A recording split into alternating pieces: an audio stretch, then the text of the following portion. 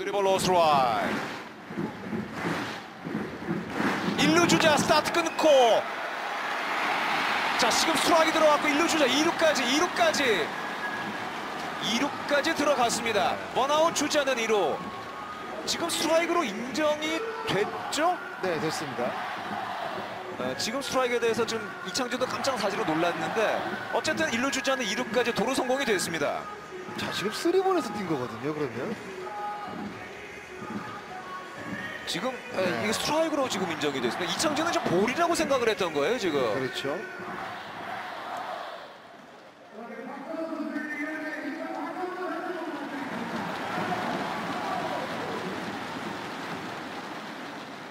아, 박찬호 선수의 이제 벨트가 끊어졌네요. 아 지금. 벨트가 끊어졌군요 예.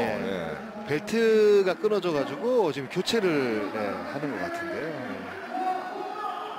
아 근데 조금 전 그 공이 지금 스트라이크가 됐습니다. 네.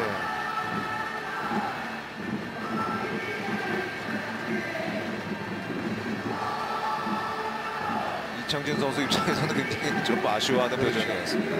그 양현주 선수가 이제 2루 쪽 속으로 해야 되기 때문에 약간 일어나면서 포구가 됐거든요.